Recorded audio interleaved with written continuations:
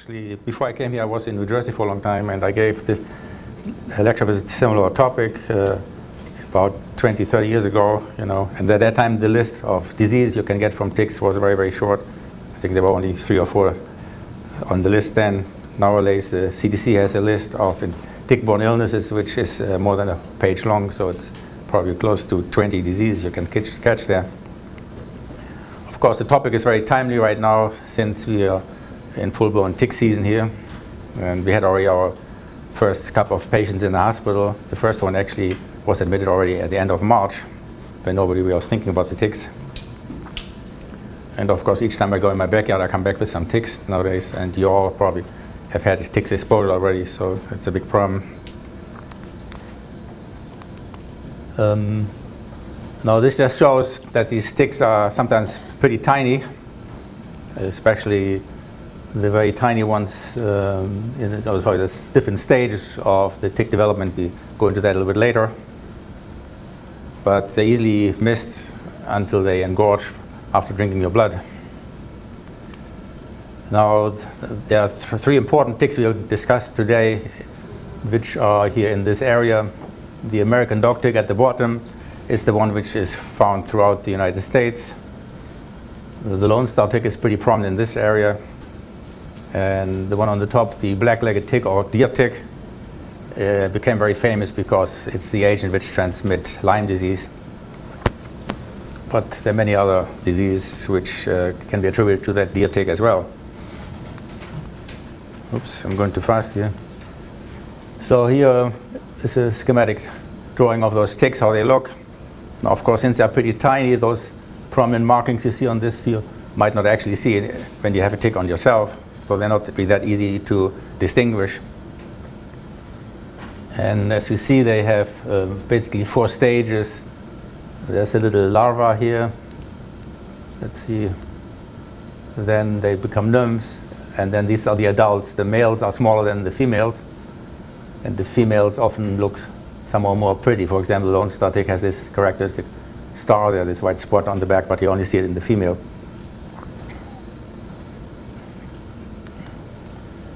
And this shows the distribution of those ticks we mentioned. The dog ticks are not outlined here because they're found throughout the United States. And I mean, there are different kinds of dog ticks, actually, not just one kind. Um, the light brown area shows, uh, oops, shows here in this color where the deer tick is distributed. It goes all the way here. And of course, here where we are here in this area. So we're in the area of the deer tick as well as of the uh, Lone Star tick. As the Lone Star tick has a little smaller distribution, doesn't go all the way up to the upper northeast states there. And the, on the green, there's some tick at the west coast only, which also transmits Lyme disease, the so-called uh, Pacific tick here, uh, which we don't see in this area, of course. This is here a close-up view of the deer tick. And there's a long list of those infections you can get from the deer tick. Lyme disease, of course, and some other ones um, which we'll talk about um, including Bartonellosis, which I won't go into it, and then Ehrlichiosis, uh, but only this one called Ehrlichia muris-like agent, which you probably haven't heard about, and that's something pretty new, which is not found in this area either. So you don't have to worry too much about it. The Lone Star tick uh, is very prompt in this area, more so than the deer tick probably and it transmits uh, so-called ehrlichiosis, which uh, we probably here in this hospital see most often as tick-borne illness. Then there's some disease called STARI, which we talk about a little bit later, which was first described in Missouri. Uh, then we find tularemia, Q fever, and something pretty recent is so-called Heartland virus. But we go into those a little bit later. The American dog tick is important for transmitting Rocky Mountain spotted fever and tularemia as well. So tularemia can be transmitted by different ticks actually. This shows the life cycle of the ticks. Again, you see this uh, picture I showed before, which is basically the uh, black-legged tick or the deer tick. But the other ticks have a similar life cycle actually, goes over a two-year period. Of course, it starts with the egg here in the spring, then it develops into a larva, which is pretty tiny, has only four legs, or I mean six legs, I mean, and then eventually develops into a nymph. The nymph is the one which caused most of the infections we're talking about. And so the season for getting it from the nymphs is here outlined in gray here. Goes from the spring into the summer. And um, of course, in the winter we get a break. Then the nymph develops into the adult tick, the female and the male here. And then eventually they produce the eggs in the spring and the cycle can start again. Um, now, tick-borne illnesses could be bacterial, could be viral, even parasitic. Um, these are the typical bacterial infections. Lyme disease is caused by a bacterium uh, called a spirochete. So it actually looks similar what you see with syphilis. It's, it's also a spirochete. It looks like a corkscrew. And then there's another agent which causes a picture very similar to Lyme disease called Borrelia miyamotoi. That's uh, something relatively new, found mainly in the New England states. Uh, initially described on the other in ticks in Japan. That's why this strange name. Uh, STARI, that's what I mentioned before on the Lone Star tick. Uh, we don't really know what the agent actually is. They suspected some Borrelia, but they never proved it really. Uh, so at this point, we don't even know what it responds to doxycycline, so it seems to be some bacterium. Tularemia, um, is disease typically found actually in cats otherwise. Tick-borne relapsing fever is, is also a spirochete, uh, which we don't find in this area. Um, now, rickettsial infections are basically also bacterial infections, but it's a subgroup of bacteria which are obligate intracellular organisms. That means they cannot grow outside uh, the cells. For example, they cannot grow in on a normal plate where you grow bacteria. It has to be grown in tissue culture if you want to attempt to actually grow that organism. And they only respond to certain antibiotics, like doxycycline, for example, but they won't respond, for example, to rocephin or some other cephalosporins or penicillins. Um, Rocky Mountain spotted fever, of course, is the one we grew up with, and that causes a typical skin rash. early Ehrlichiosis, we see much, is probably more common in this area, which typically does not have a rash, although at times it can actually. Anaplasmosis is very similar to ehrlichiosis. Q fever, we mentioned Rickettsia parkeri, it's, it's something pretty rare. And the other one, 64D rickettsiosis, also caused supposed by Rickettsia philipii, but that's a preliminary nomination there. Those are find, found at the west coast and they're pretty rare, really. Uh, there are a couple of viral infections, and actually the list of viral infections is growing rapidly. Colorado tick fever, there is something called tick-borne encephalitis, um, which is more primarily actually in, in Europe and Asia than here.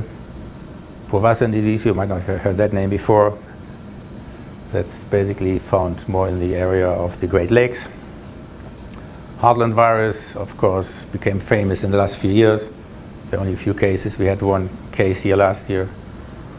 Um, and bourbon virus disease is the very newest one. There's only actually one, one human case so far reported. And they have not identified really from which tick that bourbon virus is coming, but they suspect it's also from the Lone Star tick, but uh, we don't know for sure really.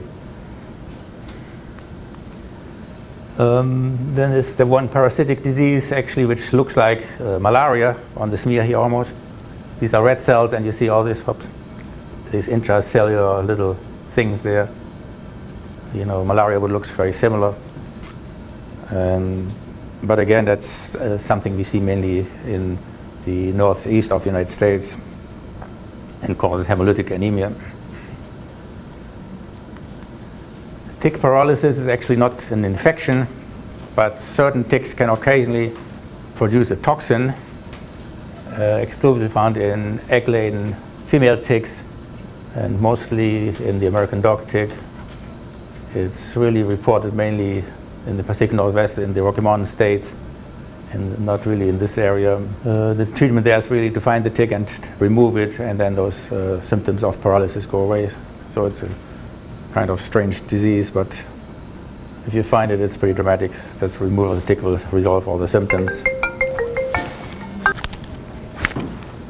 Um, uh, here's some other virus. Colorado tick fever is caused by some RNA virus called Coltivirus. It's basically found also in the west, in the Rocky Mountains, the West Black Hills, the west coast, and usually at higher elevations in the mountains, caused by the, transmitted by the wood. And there are a couple hundred cases every year. Actually, it's not really that uncommon in those areas. Cause fever, headaches, muscle aches, 5 to 10% come down with neurological problems, meningitis or encephalitis. And if you look at the blood work, they have low white count, thrombocytopenia, as well as an inflammation in the liver. Powassan virus, I mentioned that before, is named after town in Ontario where it was first found in ticks in 1958. The first cases uh, reported here in the United States was uh, in Minnesota or Wisconsin, that area. And uh, there they find basically about 10 cases a year or so. It's a flavivirus in Ixodes ticks. Ixodes tick is the same one, you know, as a deer tick, for example. So uh, it's found in, in small mammals like raccoons, skunks, and uh, it's not found in this region here. Again, it causes mainly encephalitis and meningitis besides headaches and fever. And it has actually sometimes a high mortality, which can be up to 60%. I don't know if you can read at the bottom, that color. And there's no specific treatment, of course, for this virus. So stay away from those ticks. Heartland virus, we just mentioned. Actually, it's not nine cases, but 10 cases. First described here in Missouri. Um, and um, just in the last uh, couple of years, first two cases in 2009, and most cases, as, as, as, you see there, from Missouri, one from Tennessee. The case we had here came from Oklahoma, Grove, Oklahoma. And again, the patients presented with low white count and low platelets. Diarrhea can be sometimes pretty prominent as well. The bourbon virus, the newest one on the list. Here's okay, a picture on the electron microscope looks almost like Ebola virus to me. So it's a kind of elongated virus.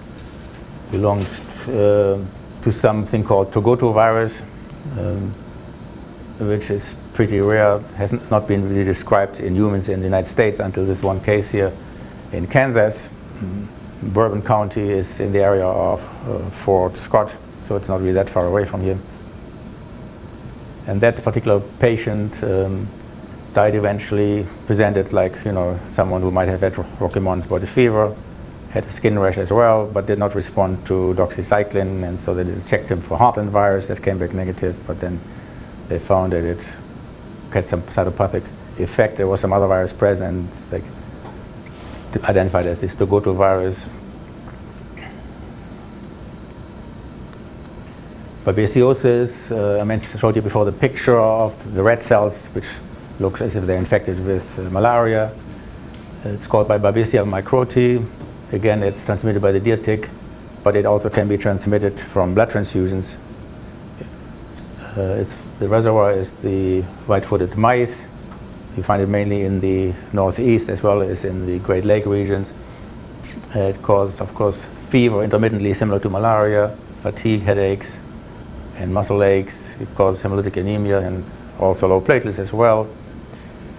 Uh, it affects mainly people who have no spleen. So if you're splenectomized, you might be at risk to get pretty sick from this. And it can be found on the blood smear, but there's also some PCR tests as well. Here that how it looks, at the different stages of, of this parasite. Um, this one is here quite typical, it's Maltese cross. If you see that, that's, you see that not with malaria, but with this babesiosis. But if you see those ring forms, oops, like down there, you know, that looks definitely very similar to malaria.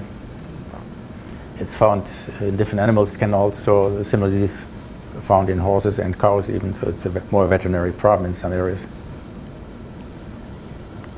The tick-borne relapsing fever um, presents as giving high fevers every three, for three days, then you're fine for seven days, and then the fever comes back. So you have headaches, myalgias, chills, and arthralgias. And um, it's found basically at the, in the western United States only. Uh, you get it from sleeping in rodent-infested mountain cabins. There's um, picture, can you see it? Uh, see this, you see this little thing here? That's the spirochete, uh, which causes disease. So that's how you make the diagnosis looking at the blood smear. You have to do it when they have fever. And if they're afebrile, you don't find them in the blood. So they come only off and on into the bloodstream, cause the fever, and make people sick. And it's treated similar to uh, similar to um, syphilis, you know, response to Rocephin, for example, penicillin drugs. Um, now we come to Lyme disease. Everyone talks about Lyme disease, and are people who diagnose Lyme disease here in the state of Missouri all the time as well. In my opinion, the opinion of Dr. Zimet, you know, who moved to Wisconsin now, uh, we think in this area we really don't see it at all. So, but in any case, it's reported according to the state statistics is present here in Missouri as well. But it's typically found um, up here, as you see, in northeast states, um, down to Maryland, and then here in the Great Lake regions. Here's the area of uh, Wisconsin and Minnesota, mainly in those areas. So Dr. Zimet will see plenty of Lyme disease now, finally. Now, it's of course you see a few spots also in our area here, but definitely it's, it's, probably often also misdiagnosed as well in this area. So it's transmitted by the deer tick, Ixodes scapularis. Now, when you test for it, you order the antibody test, so-called EIA or IFA. EIA stands for um, what does it stand for? It's um, enzyme um, immunoassay or IFA immune fluorescent antibody test. And if that one is positive, then they do a confirmatory test. So the antibody test, EIA or IFA, is, is just a screening test which can give many false positive results. So it cross reacts with different other things. And then you do for confirmation the Western blot test and they can test there for the IgG and the IgM antibody. Now the IgM antibody is the one which initially the body forms to, a new exposure to an invading organism. Um, but on the other hand, the IgM antibody is not that specific either. There's also more chance to get a false positive test. Then usually within a couple of weeks, then the body switches over from IgM to IgG, and that uh, test is more diagnostic. So the IgM test uh, should not really be done in someone who has symptoms for a long time, over 30 days, because at that time you should really expect to have the IgG antibody and not the IgM antibody. Um, I have seen situations, you know, where people had a positive Western blot IgM antibody, and of course the screening test was positive, but they did not have Lyme disease. You know, after four weeks, you really shouldn't find the IgM positive here and the negative IgG, it should be just the reverse. So if you get that constellation of, of positive IgM and negative IgG after more than four weeks of illness, then it's typically a false positive test. The uh, Lyme disease has uh, different stages. The early localized form in the first uh, 3 to 30 days, so you can become sick pretty quickly within a few days of the tick exposure. And the, the hallmark is the so-called erythema migrans rash. It looks like this here. Looks, you know, it shows often some clearing in the center. It can give you the so-called bullseye rash. And uh, so that's um, not only found in Lyme disease, but it's once you see it, you definitely think of Lyme disease. But it also found, for example, with the so-called STARI, which we show in a moment.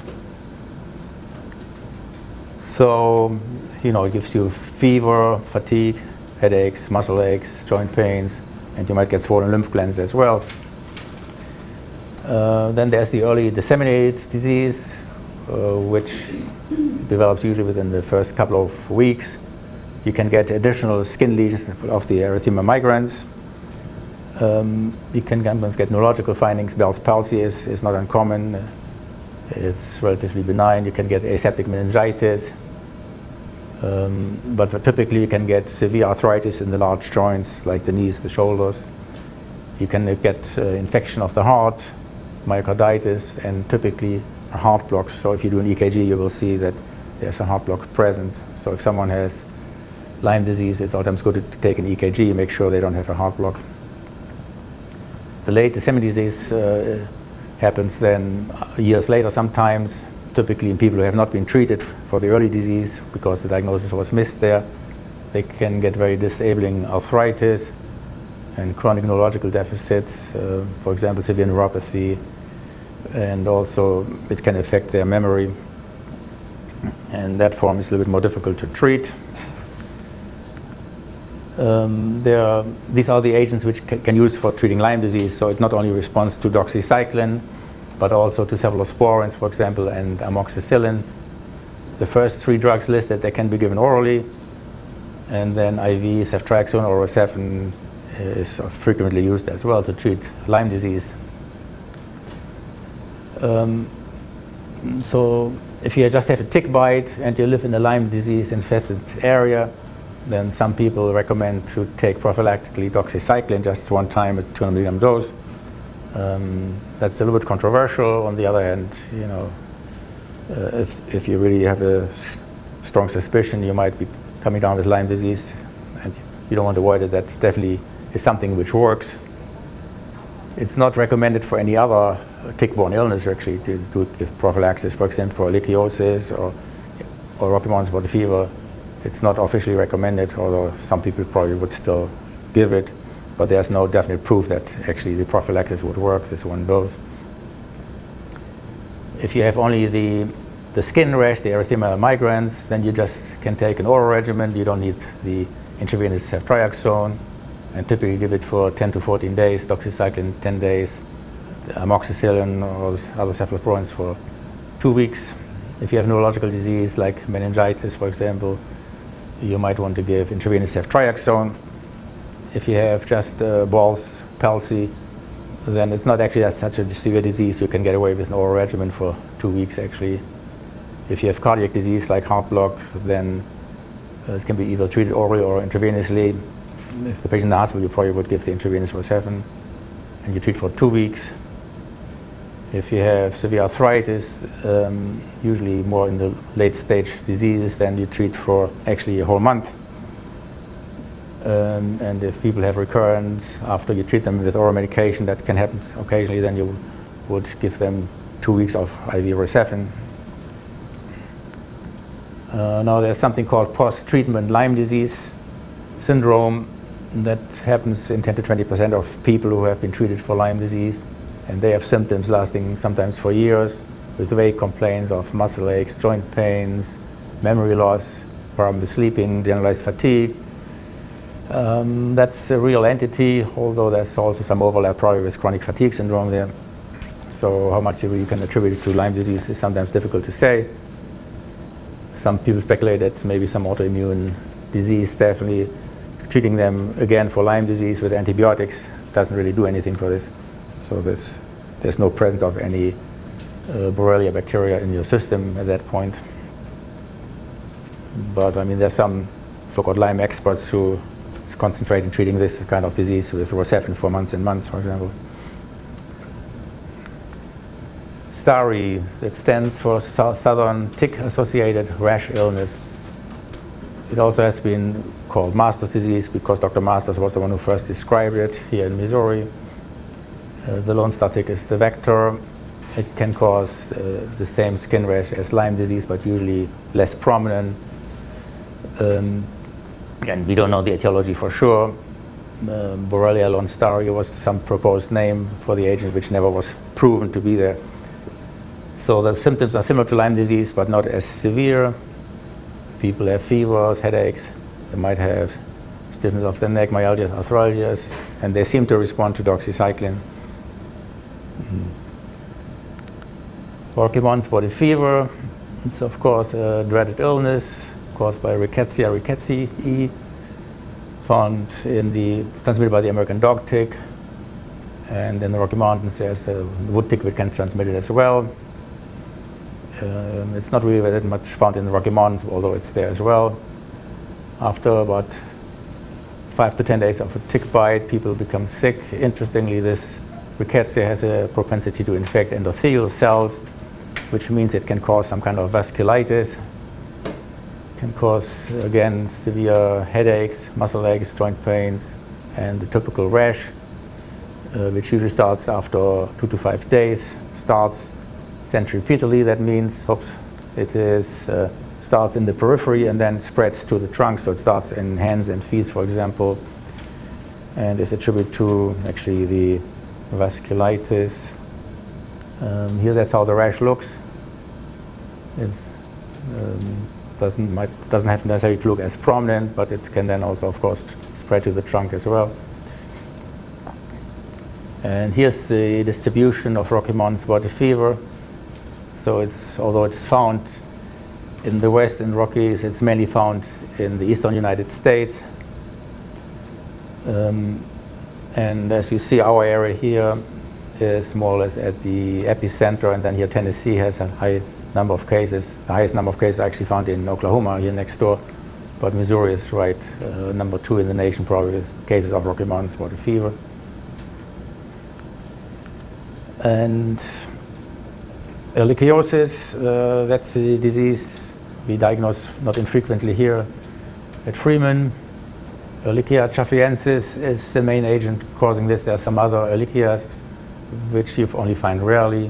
One is called Ehrlichia ewingii, um, which uh, mainly has a propensity to infect uh, neutrophils, granulocytes. It's also comes from the Lone Star tick and is found mainly in immunocompromised patients here in Missouri, Oklahoma, Tennessee. Um, uh, we see on the other end, uh, you know, there's another agent called EMLA. There's some Ehrlichia muris, uh, and this agent is similar to that one.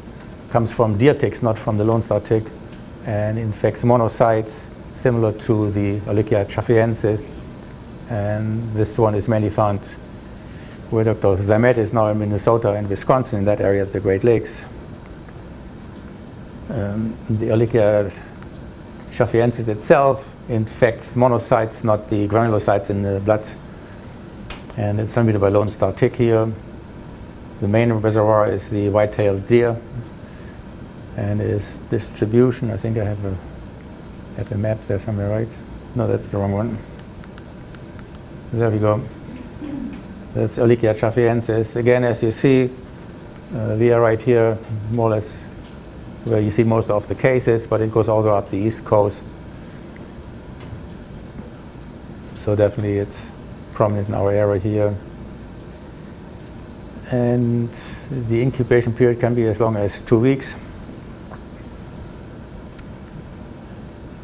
Uh, here are the symptoms, again, kind of non-specific, fever, chills, headaches, muscle aches. Occasionally can have a rash as well. I mean, it used to be called spotless Rocky Mountain spot fever, but if you find a, mild rash, it's, it's compatible with ehrlichiosis as well, not just Rocky Mountain spot fever. Here you see a monocyte in the blood smear. And then you see this little dark dot here. That's called the morula. That's it's an agglomeration of, of the rickettsia, you know, these bacteria which cause ehrlichiosis. So they multiply within vacuoles of those monocytes and can be picked up on the blood smear if you look for it and have experience. It's not the most sensitive test. The diagnosis, 25% sensitivity. So if you look for it, you might actually find it. More useful is actually a PCR test on whole blood, uh, which is again not 100% sensitive, uh, but it's a very good test here.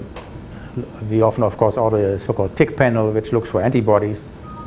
Um, but the antibodies, of course, usually take two weeks or at least a week before they will show up. So early on, the tick panel will not be helpful. The treatment, again, is doxycycline, typically for uh, about a week or so, up to 14 days. There is no reason to give it longer than that.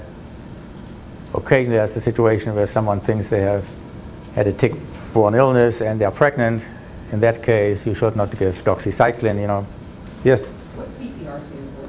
That is polymerase chain reaction. That's one of those fancy tests we do nowadays in the laboratory. Thanks for asking.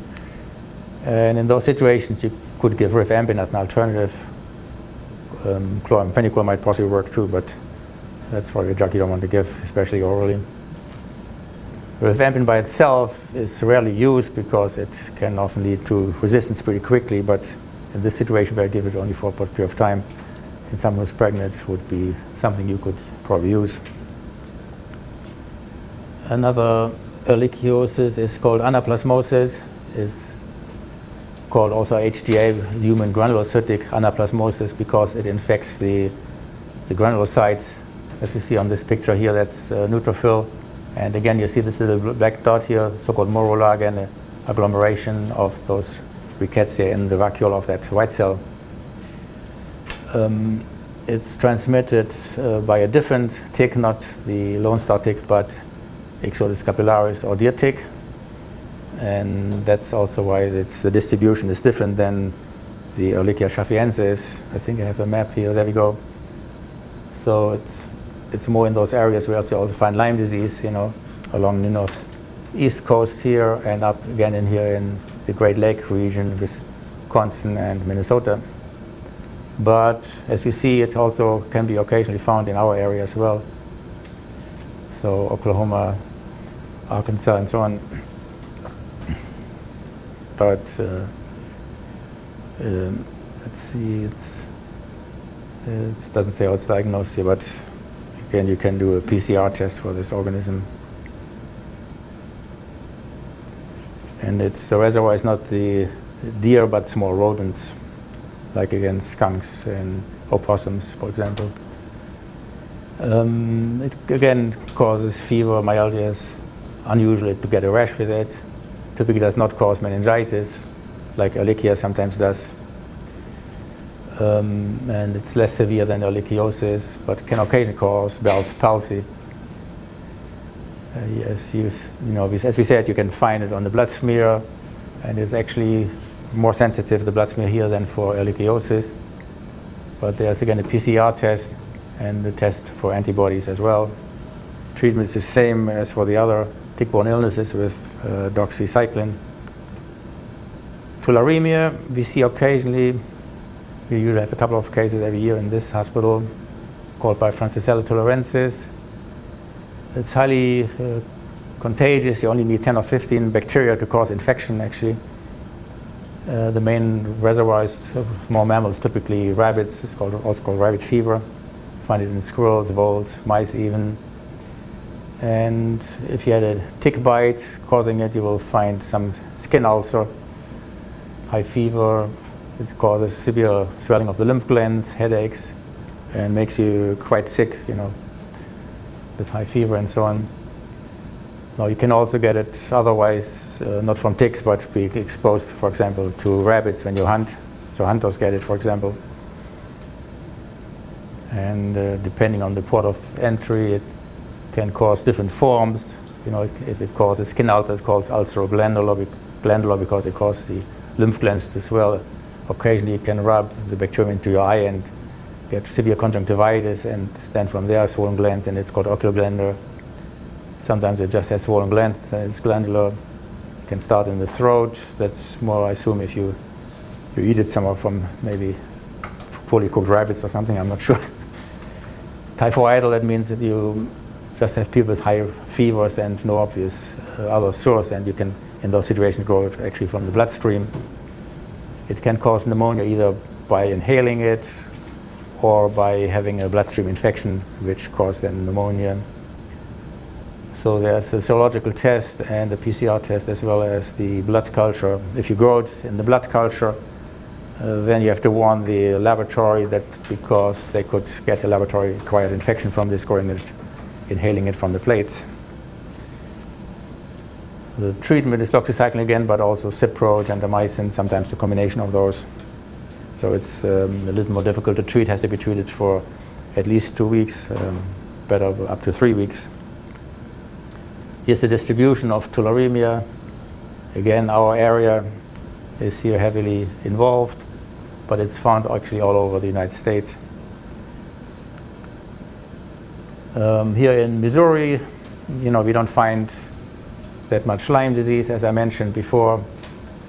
There's no case of Bourbon virus reported so far here, but you know, Kansas is pretty close here, so we might maybe eventually find Bourbon virus disease as well here. Uh, the main agents here is ehrlichiosis and Rocky Mountain spotted fever, and occasionally, of course, tularemia as well. Actually, here are the statistics in, in Missouri for the last couple of years. Ehrlichiosis, uh, up to 400 cases a year. Rocky Mountain spotted fever, usually in the range of 300 per year. Tularemia, only 20 to 35 there. Lyme disease, as you see, is reported here very rarely, and some of them might have been misdiagnosed actually. So. And um, now all the tick-borne infections, uh, you know, have similar presentation actually. So clinically, it's very difficult to make a diagnosis. If you see a patient, they all run with fever typically. They feel tired and weak. They have muscle aches, joint pains, headaches, nausea, sometimes diarrhea. Some of them have rashes, of course, mainly with Mountain spotted fever. If you do blood work, they have low white count, and uh, the clue is very important. Is here the oops, is the thrombocytopenia, um, and often you find inf inflammation of the liver. They have elevated transaminases, you know, as well. I just saw a case, a patient presented initially to hospital with high fever, and they found multiple ticks on him and he had a low platelet count, but he also had urinary uh, tract infection. You know, he had a, an obstructive, uh, pro obstructing prostate and required a Foley catheter. He was in renal failure. So they concentrated on the urinary tract infection and treated him for that. They sent out the tick panel, so they had the right thinking there, but they did not bother to treat him for any tick-borne illness. You know, so the guy eventually ended up here in our hospital because he was getting sicker and sicker. And they put him on doxycycline and he got better within two days. He was pretty confused when he came up here. They didn't do a spinal tap. He had some nuchal rigidity, so he probably had some aseptic meningitis as well. Um, so the clue is here, number one, uh, look for the low white count and the thrombocytopenia. Number two, make sure you ask them for any outdoor activity, possible tick bites. You know, if you get that history and the person is sick, you better put them on doxycycline and then sort out things later on, you know, get, of course, a tick panel, check them with the PCR for Ehrlichia, and then you're on the right track. So, any questions? Yes?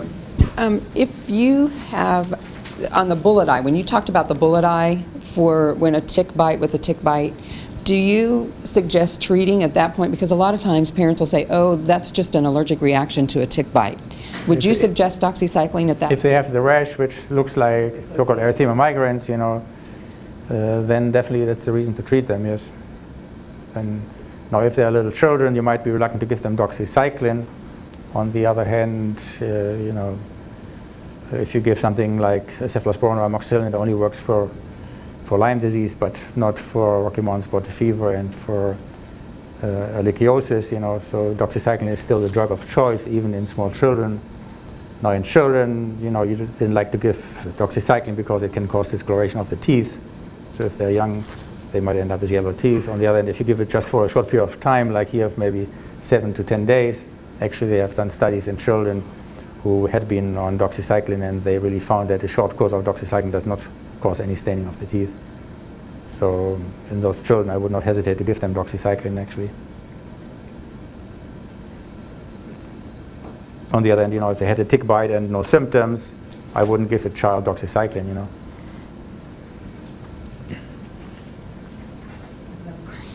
What causes the heart block? You talked about heart block with... Or the, um, the What's organism the pathology of, Lyme disease, the Borrelia, it infects the heart somehow.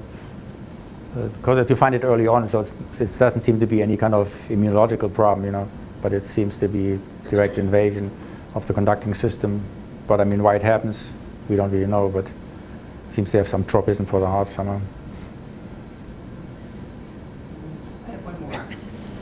how long do the myalgias and those kind of things last? I mean, when you're talking to a patient about you have this problem, how long do you expect for the symptoms to last, or when? Or if you put them on doxycycline, they get better within a few days, really. Yeah.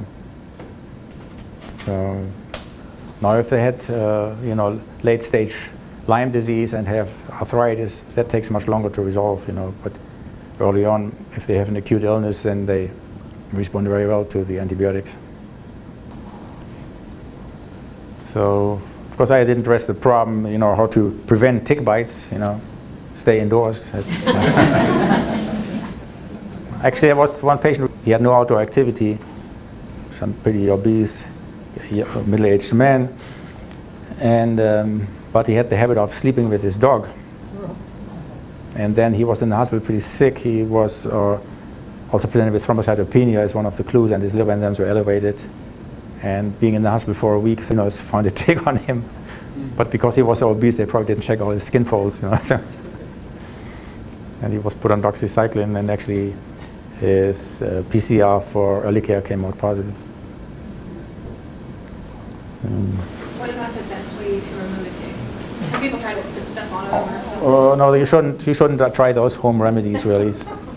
Uh, you pull them off very gently. I mean, you can use uh, forceps, you know, tweezers, I mean, and pull. Otherwise, doing it with your hands and grab them very close to the skin works as well, really. But you have to pull very steadily, not too abruptly, so so that otherwise the head might break off. Uh, on the other end, you know, once you've removed the tick, then it's okay.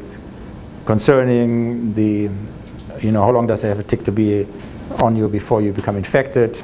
With Lyme disease, it takes at least one and a half days. You know, if the tick is there less than 35 hours, uh, 36 hours, then you can assume you're not infected.